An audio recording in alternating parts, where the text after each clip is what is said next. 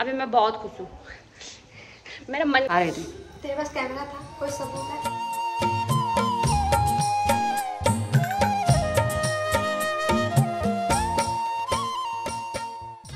Hello दोस्तों good morning सुप्रभात। आप सभी को मेरा प्रणाम है मेरे छोटों को जी पूरी आशीर्वाद। दोस्तों स्वागत है आप लोगों का मेरे आज के न्यू ब्लॉग में। मैं हूँ उत्तराखंड देहरादून से। अभी मेरी ब्लॉगिंग स्टार्ट हो रही है हमारे बाहर आँगन से और मैं छतरी लेके खड़ी हूँ जस्ट क्योंकि बाहर बहुत तेज़ बारिश आ रही है। और उधर ना उधर ना बहुत सारी लेडीज़ ना, धान रोप रही है तो वो मेरे को देख रही है कि हाई कितनी सुंदर लड़की है कि। मैं आपको दिखाती हूँ। देखो, ये धान रुपाई में लगे हुए हैं। इतनी तेज़ बारिश हो रही हो तब भी धान रुपाई कर रहे हैं। बाकी मैंने भी जाना था धान रुपाई करने के लिए, लेकिन मैंने व्हाइट पहना है तो मेरे कपड़े गंदे हो रहे वैसे मैंने लिपस्टिक लगाई है तो वो भी गंदा हो रहा। तो मज़ाक करी मेरे बातों को दिल पे मत लेना, ठीक है? इतना बढ़िया मौसम, साथ में अंदर है फ़ोन पे बात कर रहे हैं, पता नहीं किससे। और मैं ना बाहर अपने आँगन में खड़ी हूँ और वो मुझे देख रहे हैं, सबके सब, कि ये कितनी अच्छी लड़की कहाँ से आई? कहीं बाहर फॉरेन से तो नहीं आ रखे और हाय ये बारिश ऊपर से मेरा इतना प्यारा सा छाता, इस छाते से किसी को प्यार नहीं होगा तो क्या होगा? इतना प्यारा छाता कहाँ मिलेगा, बताओ? जब बाज़ार जाओगे तो? जब बाज़ार जाओगे तो अपने लिए यही वाला छाता खरीद के लाना, ठीक है? ये बहुत प्यारा छाता है। हालाँकि इससे भीग जाते हैं, लेकिन दिखने में सुंदर लगता है। फ़ोटो ये भी अच्छी आती है काजू अपना काम कर रही है, जेठ भी अपने काम कर रहे हैं, और मैं ही हूँ नल्ली बेरोजगार। मैं ऐसे ही रहती हूँ, बाहर घूमती फिरती। ना मेरे फ़ोन में पता नहीं पानी गया कि क्या गया, उसकी आवाज़ चिट चिट चिट कर रही ना। आप लोग थोड़ा एडजस्ट कर लेना है कोई बात नहीं। चलो, छत में जाते देखने के लिए। मैं पहुँच चुकी हूँ अपने छत में और अपने इस प्यारे से अम्ब्रेला के साथ। ये वाह यहाँ पे कितने दिन हमारे कपड़ों को हो गए, अभी तक कपड़े नहीं सूख रहे हमारे। और ये देखो, धान रुपाई वाली।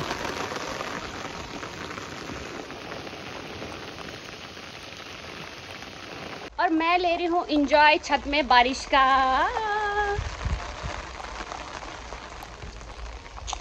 ये, बरसात के मौसम में, तन्हाई के आलम में। मैं घर से निकल आया बोतल भी उठा लाया। मैं ना बहुत ज़्यादा खुश हूँ बहुत बहुत बहुत ज़्यादा। और आ, बहुत जल्दी हमारे घर खुशखबरी आने वाली है। और आ, वैसे तो दोनों खुशखबरी मेरे लिए लेकिन एक खुशखबरी जो आप लोग चाह रहे थे ना जो आप लोग कई बार बोलते हो वो वाली खुशखबरी आप लोगों के लिए बहुत जल्दी आने वाली है। सब कुछ ज़रा ये बातें बताई नहीं जाती ना।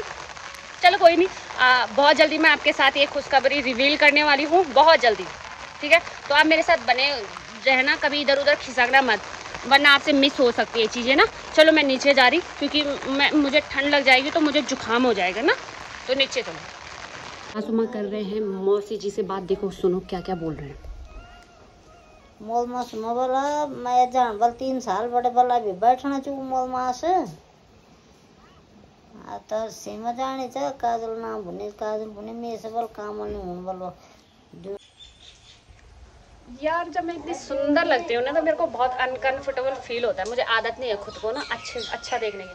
आज सुबह सुबह मैंने फेस पाउडर लपोड़ा मुँह पे और लिपस्टिक लपोड़ी। बस हाँ मैं ये बोल रही थी कि सासू माँ बता रहे हैं ना कि मूल मास पड़ रहे हैं तो हमारे साइड उत्तराखंड में ज़्यादा मानते हैं इनको। और पता नहीं आपकी साइड मानते हैं, नहीं मानते तो देखते हैं अभी। काजू काजू तो नहीं जा रही है क्योंकि काजू का काम है और फिर बारिश का मौसम ऐसा इतनी दूर जाने में तब थोड़ा दिक्कत है। तो इसलिए शायद वो नहीं जा रही है। अब मेरा देखते हैं, मेरा तो यहीं पे है। थोड़ी बारिश रुकेगी, चल रही फिर तो देखते हैं, और वो भी जाना पूरा एक महीने के लिए। तो मेरा भी कुछ कन्फर्म नहीं है, जाऊँ या नहीं जाऊँ, पता नहीं। कन्फर्म तो है मेरा हाँ कन्फर्म तो है मेरा, जा रही हूँ मैं। तो चलो, अभी मैं, अभी अभी मैंने दाल चढ़ा दी है, क्योंकि मैंने सुबह दिखाने रख दी थी तो फिर मैंने अभी, मैंने कहा, जब तक मैं थोड़ा इधर उधर घूमती हूँ, तब तक थोड़ा पक जाएगी, और तब फिर सट्टे करके छौंका मारना है, और सट्टे करके मैंने चावल चढ़ाने गला गल खाना है हमने फिर, मस्त करके। अभी देखते हैं, अभी तो मैं कुछ नहीं कर रही। अभी मैं बहुत खुश हूँ। मेरा मन कर रहा है ना मैं अभी आपको सारी खुशखबरी बता दूँ लेकिन फिर मेरा मन कर, दिमाग कह रहा है कि नहीं नो सिमो कंट्रोल कंट्रोल मत बताओ किसी को अभी लेकिन खुशखबरी अब बताऊँगी ठीक है? बहुत जल्दी रिवील करूँगी बहुत जल्दी। तो आप लोग नाराज़ मत होना। अच्छा। हाँ। हाँ। मौसी जी का कॉल आया मौसी जी का।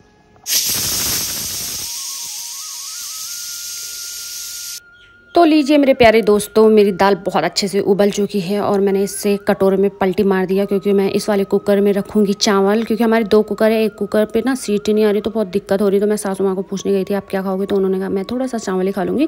बाकायदा तो चावल में थोड़ा सा हल्दी ऐड कर देना। मैंने कहा, ठीक है। तो मैंने ऊपर से हल्दी निकाली, थोड़ी सी चावल में हल्दी ऐड कर दी। तभी हमारे चावल आपको पीले देखते हैं। लो, चढ़ा दिया मैंने गैस पर गैस ऑन कर दिया। अब बनेगा मेरा भात मस्त करके। तब तक मैं चढ़ा देती हूँ कढ़ाई और कढ़ाई में मैंने डाल दिया है तेल। और तेल के साथ मैंने प्याज, पूज, लहसुन लहसुन सब कुछ करके रखा था। पहले मैंने जीरा डाल दिया, गर्म होने के बाद, उसके बाद मैंने अब ये लहसुन डाल दिया। इसके बाद मैं इसमें प्याज डाल दूँगी। उससे पहले मैं चलेगी कुकर चेक करने, क्योंकि प्रेशर में ना इसमें भी सीटी कम आती है। मतलब आती नहीं है, थोड़ा दबाना पड़ता है, तब आता है। तो बस अब थोड़ी देर में दाल चढ़ा दूँगी। शूल सारा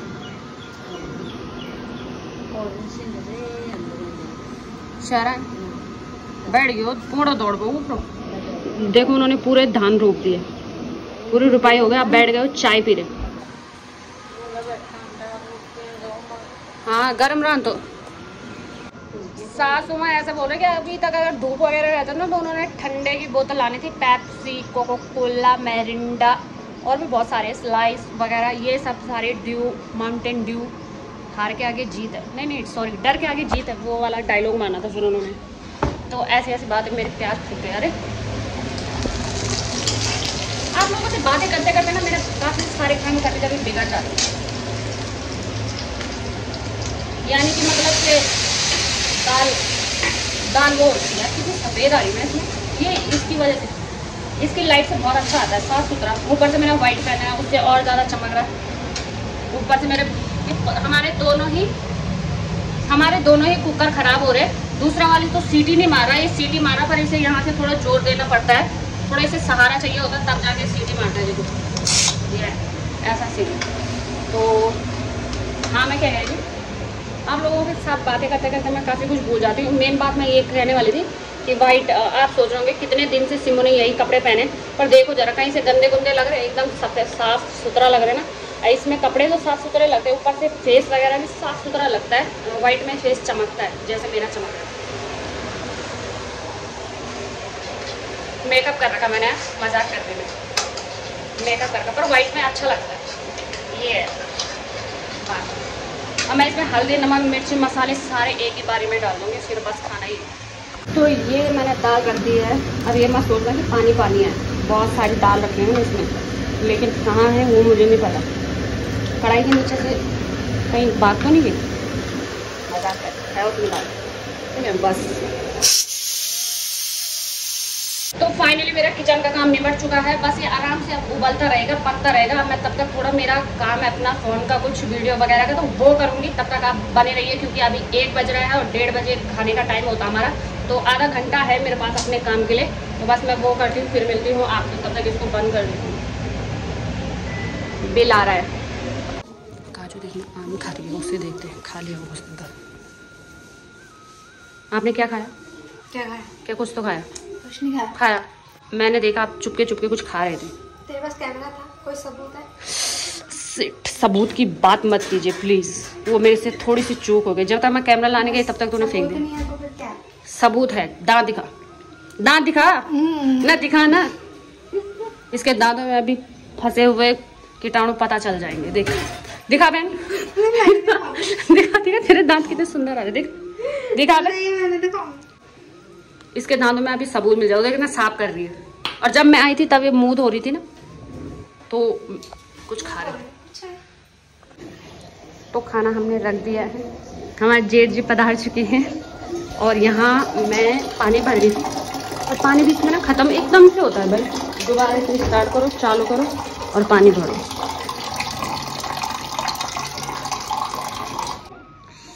यस सिमो दा पराठा। लाजवाब लजीज। अच्छा। कुछ नहीं। फ़ैन है बेटा तू मेरे खाने का मेरे हाथ के खाने का। इन हाथों को चूमती रहती है तभी तो। कोई सबूत है। सबूत तो बहुत है। सबूत की बात मत कर। सबूत ही सबूत है मेरे पे। समय दिखाएगा मैं नहीं फ़िलहाल तो खाना रख। मैं थोड़ा फ़ोन चार्ज लगा रही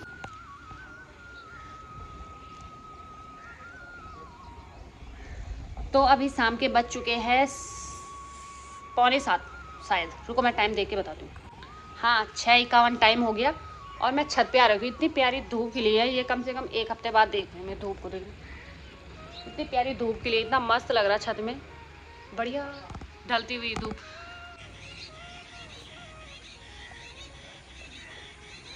ये देखो, देहरादून का कितना प्यारा मौसम हो रखा है, बहुत ज़्यादा प्यारा। देखने लायक।